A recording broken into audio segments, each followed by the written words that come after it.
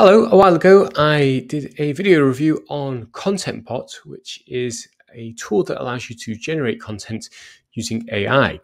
And in the past few months, it's had a lot of updates, and I've been using this primarily for short form content, but I wanted to just give you a quick demo on the new Discover and Blogshot options. It's very cool. So if we head over to Discover, this is a research module. So we're going to research, let's have a think. Let's go uh, change management. I have a change management blog and preferred region. So I'll leave it at that. So this now is going to go away and research the topic using data from, if you can just see up here, it says SEMrush.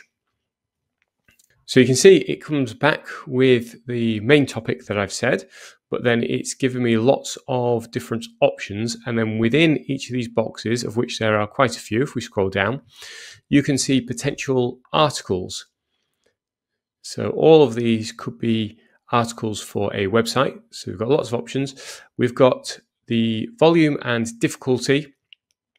And so ideally you you want to try and find something that has a decent volume but a low difficulty. So if we scroll down, let's see if there's anything that we can see. So it looks like about around the 40-ish. So 46 is not too bad. So 46, let's have a look.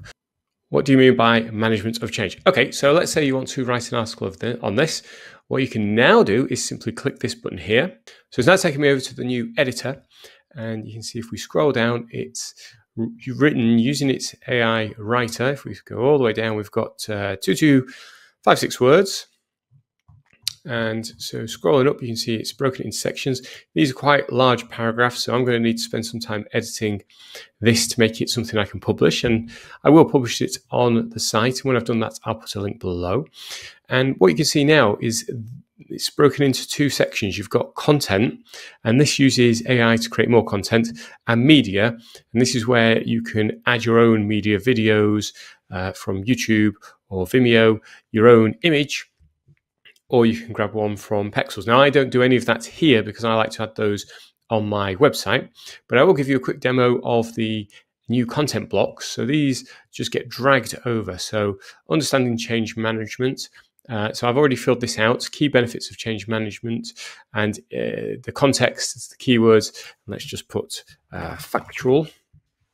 So now what you can do is using this information, you can drag any of these content blocks over. So let's do a listicle. And so you can update this information and that guides the AI with uh, what it should be writing about.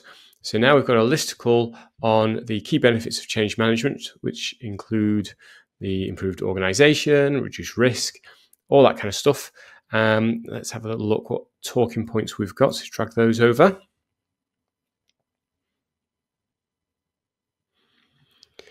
So you can see it's the same inputs but a different block and instead of getting a bullet point list of benefits it's now given us slightly longer form. It's given us three talking points around the key benefits. And if I were to change the topic and the context it would generate different different bits of information. So you can look at headings paragraphs intros listicle we've done questions talking points we've done conclusions. There's really good set of content blocks to help you quickly build up the article so that's the blog shot and the longer form editor.